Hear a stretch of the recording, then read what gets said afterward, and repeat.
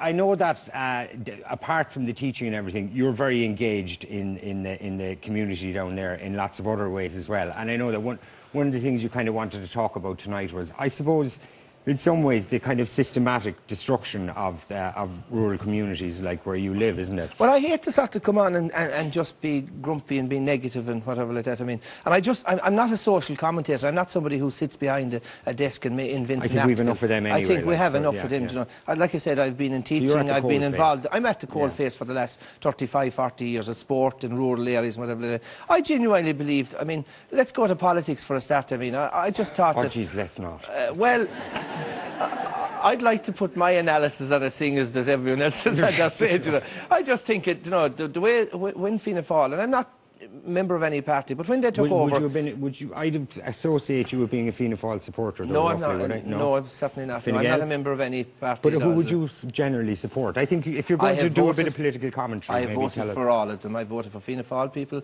I voted for Fine Gael people, and I voted for independence. So you play the man, not the ball. Uh, well, unfortunately, I suppose that's what's wrong in, in Ireland, in sense that you, you, you vote for the closest guy to you who will deliver on the, the promises and the local. Yeah. But I mean, in terms of politics, I mean, when, when Fianna Fáil took over, I mean, in, in the glory years, I mean, it was a bit like uh, take teenagers being left the house for the weekend, you know, and, uh, you know, they weren't told what to do, and, and they just went to party, and everything was in excess, and, you know, they showed off, and, and then, of course, the following morning, panic, and there's a hangover, and there's a little bit of remorse, but, but it's mainly panic, and, you know, the first rule in crisis is to blame somebody else, and that's what we've got. And, But I'm, I, I'm in rural Ireland, and uh, rural Ireland was, so you talk about the Celtic Tiger, and what have we got to show for Celtic Yeah. Tiger years? We haven't got much, you know, but certainly we've got very little in rural Ireland. I think uh, Yeah. the Celtic Tiger passed by rural Ireland, and I'm, like I said, Well, passionate. you got a lot of ghost estates, didn't you? No, we didn't, in, uh, believe it or not, in, in, in, in the area where I am, in Kenmare, which is the most beautiful town, Yeah. as you're familiar with it. Yeah. We have no ghost estate,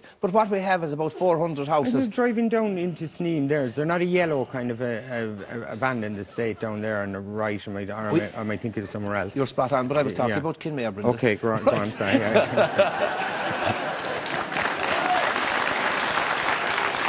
Ah, yeah, I mean, Kenmare was a Kenmare's a beautiful town, absolutely Yeah. fabulous.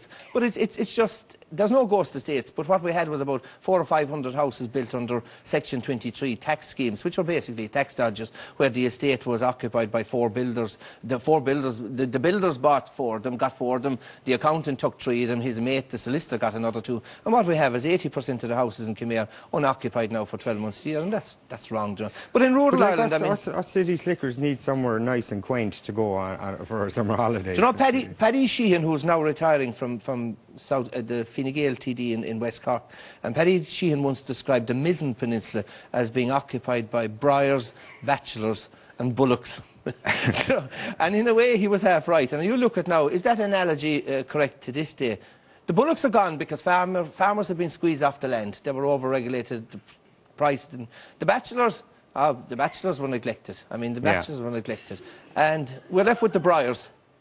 And the briars are covering the, the few ghost estates and, and, the, and, the, and the holiday homes of the speculators. That's right, it. Jesus grim. You, you mentioned the bachelors being, being neglected. Um, I know that you, you were a publican. The pub is leased out now, isn't it? And, and I know that you feel like a lot of people that I, I suppose a combination of the, the smoking ban and the drink driving laws have kind of isolated a lot of those uh, uh, farmers. Yeah, I just believe that an awful lot of the legislation that was brought in in this country was urban-based legislation. And obviously you're against drink driving. I remember in the pub, I mean, I remember the first night when the smoking ban was brought in. It was a wet Monday night. I had two customers in the bar. There were two smokers, and they stood outside the door in the rain smoking, and a big empty bar in. And I'm not... W- Would you not have said to them, lads, it's okay? Lads, we won't. No, they wouldn't go to break the law. But I mean, you, you, you go to drink driving, I mean, in my bar, three, I had three customers, regular customers, within a three mile radius of the bar. The rest were beyond three miles. That basically meant that every one of them had to drive.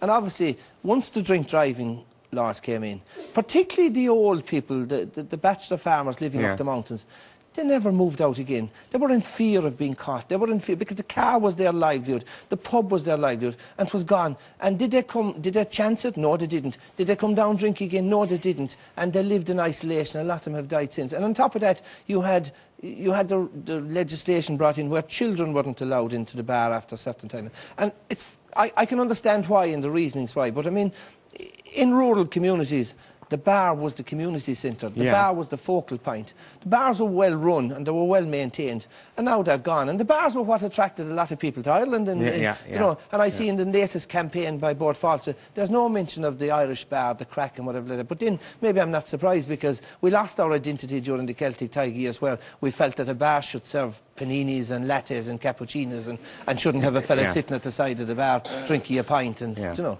Yeah. The other, I suppose, the I other hope I'm not coming across as being angry now, Brendan. No, no, you're that's not. you're not, you're not. No, the philosophical, I would say. Thank you. Kerry men are too smart ever to get really angry, you see. They just kind of snipe quietly. Um, so,